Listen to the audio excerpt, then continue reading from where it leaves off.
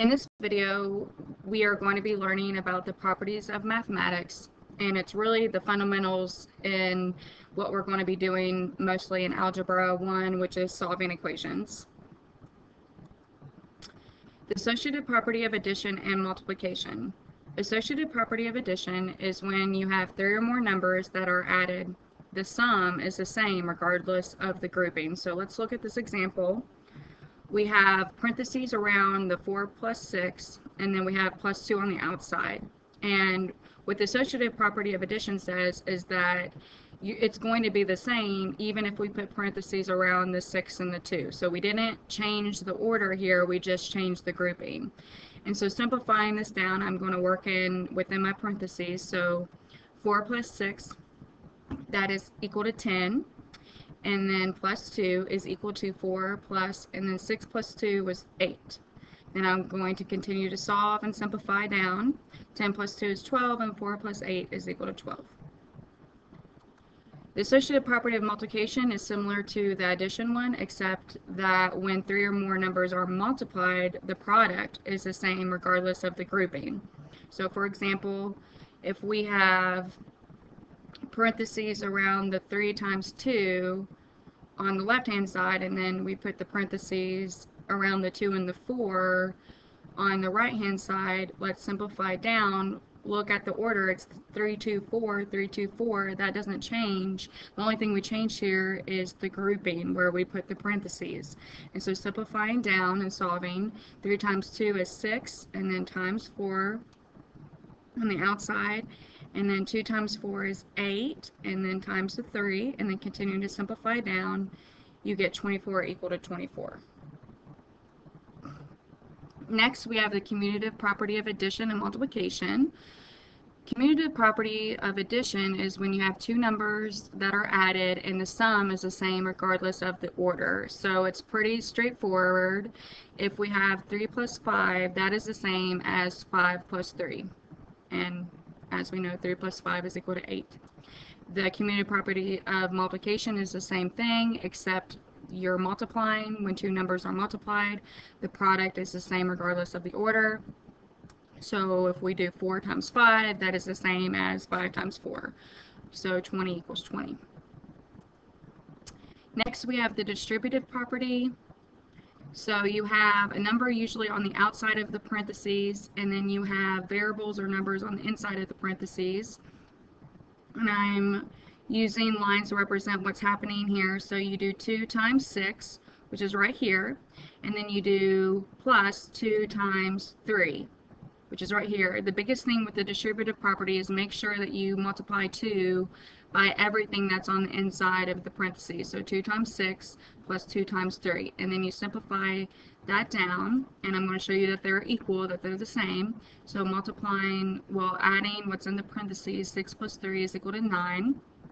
So 2 times 9 on the left-hand side, and then simplifying 2 times 6, which is 12, and then 2 times 3, which is 6.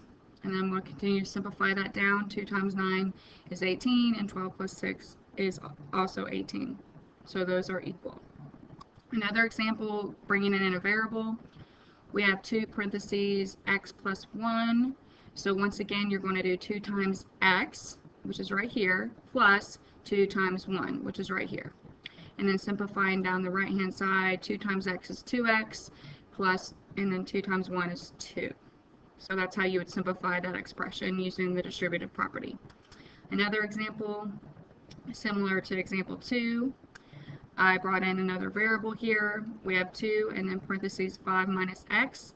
So what you have to do is you have to do 2 times 5, which is what I did here, plus 2 times negative x. Now I know it says minus x, but that's the same as negative x. Now I'm going to simplify the right-hand side of the equation. 2 times 5 is 10, and then 2 times negative x is negative 2x. So that's how you would simplify that expression using the distributive property. Next, we have the identity properties of addition and multiplication. The identity property of addition is the sum of any number and 0 is going to be the original number. So the identity for addition is 0. So it doesn't change things. So 3 plus 0 will equal 3. 5 plus 0 will equal 5. Negative 6 plus 0 will equal negative 6. That's what the identity property of addition is saying. Anytime you add 0 to something, it doesn't change it. And then we have the identity property of multiplication. It's the product of any number and 1 and that's going to be the original number. So the identity for multiplication is 1. So for example, 3 times 1 is equal to 3. 5 times 1 is 5. 6 times 1 is 6. Negative 6 times 1 is negative 6. So once again, multiplying something by 1 doesn't change it. Next, we have the inverse of a number. We're going to do the additive inverse of a number first. The additive inverse of a number n, that's going to just be our variable, is negative n. So that when you add those two numbers, they equal 0. So for example, 3 plus negative 3 equals 0. So negative 3 would be the additive inverse of 3. Basically, it's just the opposite. So 3 would be the additive inverse of negative 3 and vice versa. So what would be the additive inverse of 4? Be negative 4. And what would be the additive inverse of negative 8? It'd be 8. What would be the additive inverse of 1? It'd be negative 1. Okay, not that hard.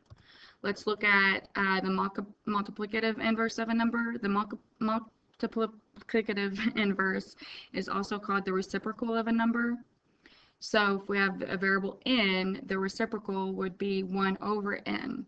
So that when you multiply those two numbers, you get the identity, which will equal 1.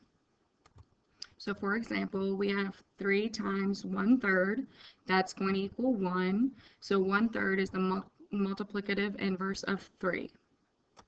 Let's do some more examples. What would be the multiplicative inverse of 4? It'd be 1 fourth. What would be the multiplicative inverse of 1 fifth? Be 5. What would be the multiplicative inverse of negative 2? It'd be negative 1 over 2. Okay, so you're just doing the reciprocal, you're just flipping it over, you're not changing the sign, things like that. We'll be practicing this more. All right, next we have the multiplication property of 0. Basically, anytime you multiply any number by 0, the result is 0. So no matter what the number is, if it's a large number, negative number, it doesn't matter. Anything times 0 is 0. Pretty easy. So we have the properties of equality, and this is what we're mainly going to be using when we are solving equations. So we have the property of equality for addition. If you add the same number to both sides of the equation, the equation is still true. So that's why you have to add the same number to both sides if you're adding it to 1. The property of equality for subtraction is, a, is if you subtract the same number to both sides of the equation, the equation is still true. The property of equality for multiplication, if you multiply the same number to both sides of the equation, the equation is still true. And then the property of equality for division, if you divide the same number to the both sides of the equation, the equation is still true.